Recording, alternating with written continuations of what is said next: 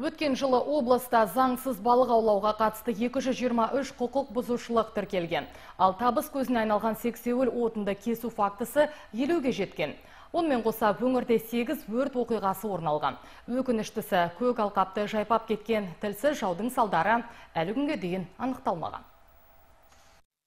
Биыл 3939 гектар жер қызыл жалынға оранған салдары 1 миллион 645 мың теңгеге шығын келтірілген. Бұл көрсеткіш өткен жылмен салыстырғанда 4 пайызға артқан. Оқиғаға қатысты жүргізілген тексеру нәтижесінде 15 қызметкер тәртіптік жауапкершілікке тартылған. Десе де өрттің нақты себебі анықталмапты. 8 орман өртінің бірде біреуінің шығу себептері анықталмады. Барлығы антропогендік жағдайдан болып отыр. Яғни табиғи жағдайдан орын алған орман өрттері жоқ.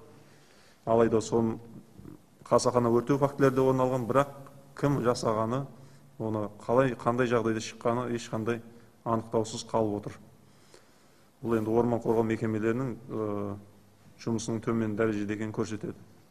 Жойылып кетудің алдында тұрған сексеуіл ағашына 2017 жылдың бірінші шілдесінен бастап саудалауға қатаң тиым салынды.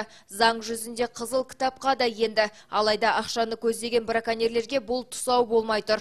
Оның ішінде сексеуіл кесу оқиғалары 16, қалғандары өзге ағаш бұта түрлерін кесу оқиғалары. Сексеуілдің 31 9 текше метр заңсыз кесілгені анықталды. Бұған келтірілген залал сомасы мынау көріп тұрсыздар үш жүз жетпіс бір мың алты жүз теңге. Яғни барлығы барлығы бойынша талап қойылып бүгінгі күнге өндірілді. Қылмыстық жауапкершілікке тартылған азаматтар саны 14 оның ішінде 5 азаматқа үш жүз алпыста жеті мың теңге айыппұл салынды. Өзге тоғыз құқық бұзушы азамат 80 сағаттан 120 сағатқа дейінгі қоғамдық жұмыстарға тартылды. 2017-2018 жылдар облыстағы балық шаруашылығын жүргізуге қолайлы су айдындары түгенделіп, жалпы саны 68-ді құрады. Жергілікті атқарушы орган тараптан 4 балық шаруашылығы кәсіпкерлерге бекітілген. Алайда 62 су айдыны белгісі себептермен резервте қалып отыр. Онымен қоса судағы тіршілік есін заңсыз аулау фактісі де тыйылар емес.